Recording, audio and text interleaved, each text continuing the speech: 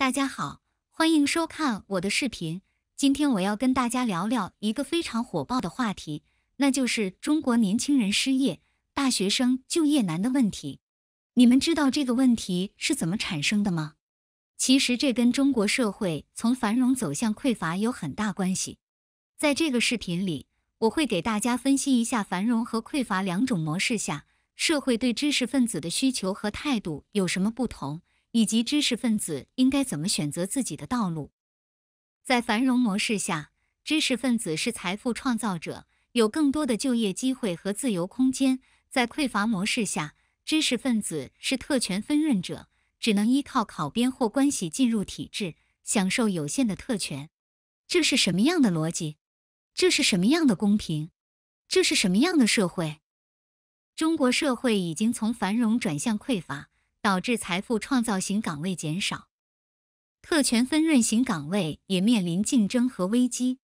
中国家长们以摆脱底层为心理动因，以特权分润型岗位为就业目标。在改开期间，拼死拼活赚钱供养起来的年轻人、大学生们，原本能找到一份属于财富创造型岗位的工作，并过上一份水准远超父辈的生活，但如今他们不得不与特权阶层的子女。亲友去抢那些日益稀缺的特权分润型岗位了，这是多么悲哀，这是多么可悲！广大年轻人、大学生们因为就业难，纷纷加入考编大军。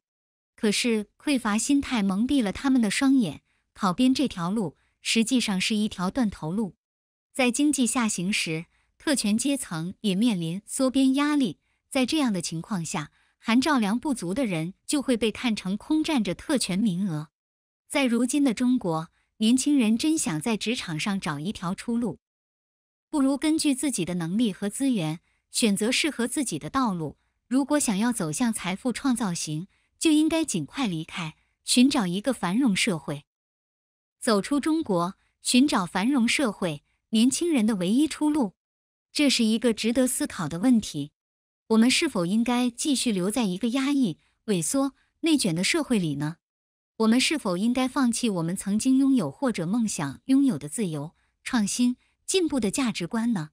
我们是否应该屈服于一个专制、腐败、暴力的政权呢？